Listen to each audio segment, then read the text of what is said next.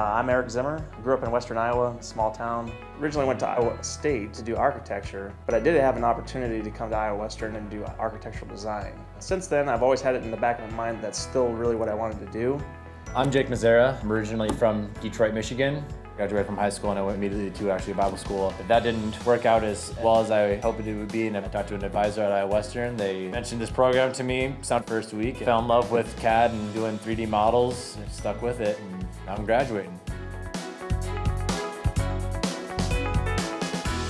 I think the biggest thing for me set the basis in the beginning that you know everything we do here is what you're going to be doing out of the real world. Having that opportunity to work with them every single class day, two years, has really you know helped us out. Being able to share books and go go through stuff together. In business uh, and working different types of jobs for the last 10 years, and also having my opportunity with the internship, that's really the way it works.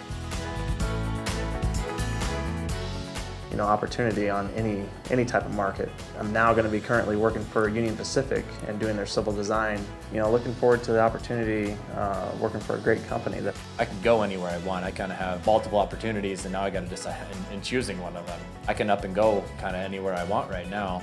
So it's, it's highly sought after. And yeah. um, now it's kind of just as a point of choosing where I want to go. You're working closely with uh, you know a small group of people, and that's the type of atmosphere that's been. Learning that kind of environment while in classes made it a lot easier, especially for when I went into my internship to kind of see how that works out. The communication skills is one of the biggest things. You know, that's part of what we, we do. I mean, any project that we worked on, we've had to have an element of communication. I've been in business management about 10 years. The type of stuff that we've learned here are definitely things that the managers are looking for.